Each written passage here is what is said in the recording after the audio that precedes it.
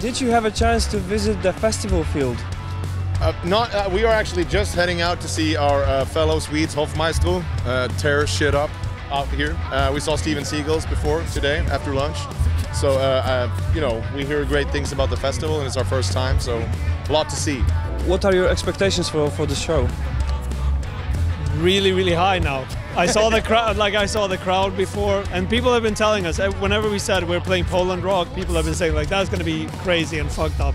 And now I saw the crowd and I was like this is going to be crazy and fucked up. So yeah.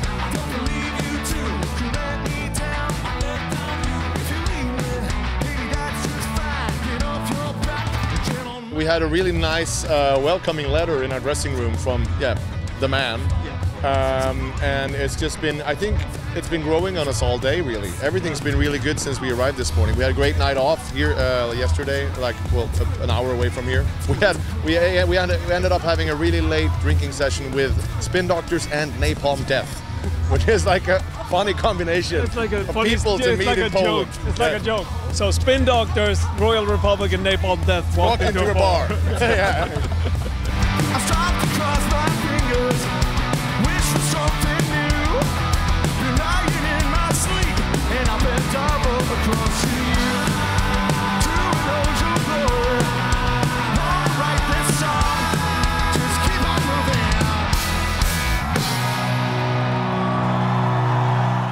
And when we have a new album, we're gonna be back in Poland, and we should do this again. Until then.